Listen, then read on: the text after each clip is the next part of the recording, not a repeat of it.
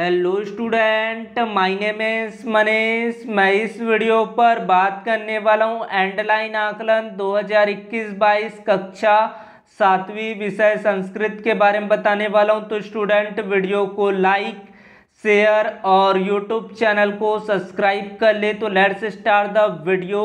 उचित विकल्प चुनिए। पहला प्रश्न कौशल्याया पुत्र, स्त्री श्री रामा भरत लक्ष्मण। तो इसका उत्तर आ जाएगा ऑप्शन क श्री राम छेर छेरा पुण्य पर्व भवती पौष पूर्णिमायाम दूसरे का हो जाएगा ग वाला ऑप्शन, रायपुर नगरम स्थित।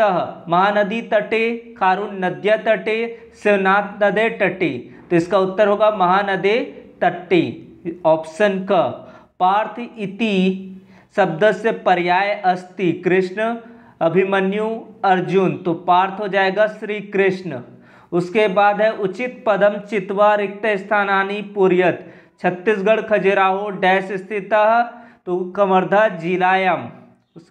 संकलन सामग्री यथावत डैश प्रददाती स्कैनर, माउस, सीपीयू, इसका उत्तर आपको बताने हैं। स्कैनर होगा, माउस होगा, सीपीयू। जल बिंदु निपेतेन क्रमशः घट पुर्यते। इसमें घटा हो जाएगा आपका उत्तर।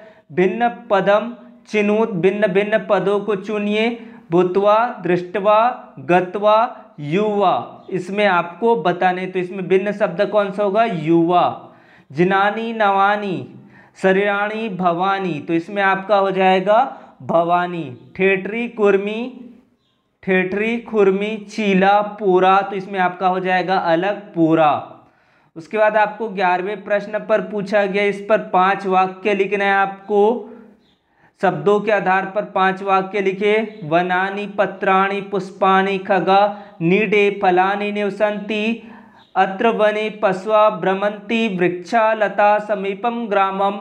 नदी मध्य अस्थि, इस तरह के प्रश्न आपको पूछे जा सकते हैं। ये सारे प्रश्नों को आपको अच्छे से तैयार कर लेना है। इसी तरह से क्वेश्चन आपके एग्ज़ाम पेपर पर आने वाले हैं। सारे क्वेश्चन एक जैसे नहीं होंगे, लेकिन आपको इससे बहुत बेनिफिट होगा। तो ये सारे क्वेश्चंस को आपको याद कर लेना है। Thank you for watching.